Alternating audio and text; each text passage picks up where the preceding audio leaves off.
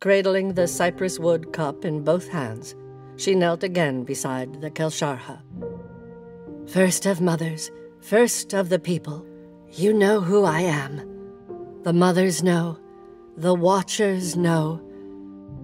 I stand at the gates of life and death. I see the entering and the leaving, and by the grace of the mothers, I sometimes wield the power of both.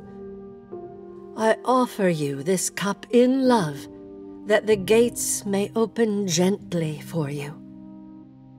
A universal indrawn breath as the Kelsharha received the cup and slowly drank. The drums pulsed outside, the fire cracked and hissed. The Kelnira took back the empty cup. Rest well, my chief, she whispered. It was all she could manage. She got up, bowed, but before she could resume her place, the Kelshara caught her hand and squeezed it. Beech tree perseveres. Remember.